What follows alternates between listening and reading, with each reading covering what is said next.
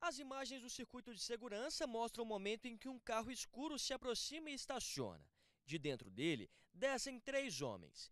Eles vão até a porta de uma casa e levam uma carretinha reboque. Vídeos de outras câmeras mostram os criminosos fugindo com engate furtado. O Alcimar é o dono do reboque levado pelo trio. Ele utilizava o equipamento para trabalhar. Eu investi um mês de salário nela e infelizmente eu tive ela furtada na semana passada, na madrugada do dia 3 para o dia 4. Não roubaram apenas é, um veículo, né? uma ferramenta de trabalho, roubaram o meu sonho.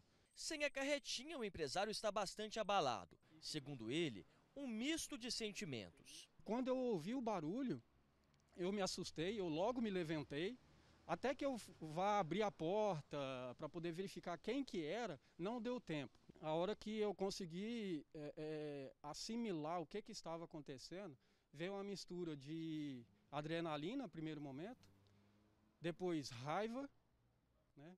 eu tive bastante raiva, né? e depois veio angústia, e por fim a tristeza. A carretinha estava estacionada aqui em frente à casa do Alcimar e trancada com essa corrente, que é bem pesada. Com auxílio de uma ferramenta, os criminosos conseguiram arrombar um dos elos e levar o reboque.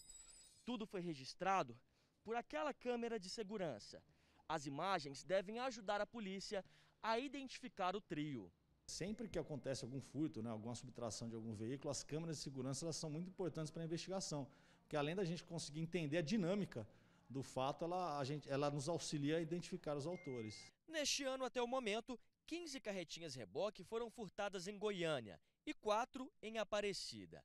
A facilidade atrai os criminosos. É, geralmente o, proprietário não consegue guardar essa carretinha na, na garagem, né, até pelo tamanho, e ela fica na rua é, de, de fácil, é fácil desacoplar ela ali do veículo e encaixar em outro e, e subtrair.